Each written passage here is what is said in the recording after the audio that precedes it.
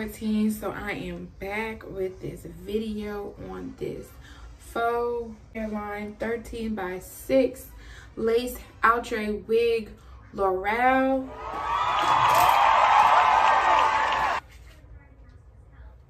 Now the color I have it in is a 1B um but they have other colors for sure and those colors will be posted in the description box, so I won't be mentioning them in this video.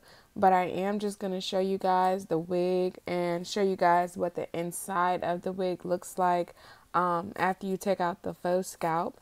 This was a tip I got from Body by Kira and also Haley. They're two influencers that had the same wig, and I just love their outcome, so I did it, but you don't necessarily have to. Um, just seeing how I want to lay the wig and stuff like that. Now, I do have another tip. If you feel that after you've taken off, the faux scalp is given um, a little bald, and you could see that line where um, you have your cap on and the transparent lace, quick solution is just a black cap. That fixes that totally. So, yeah. Once again, you don't have to, but this is something that I did.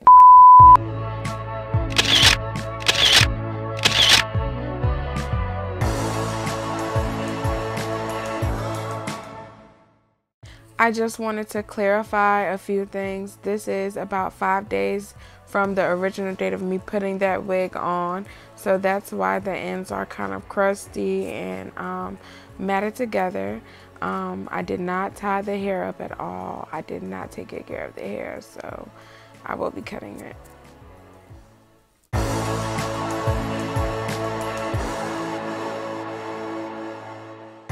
And I definitely have to put this next clip in for all of my synthetic hair haters.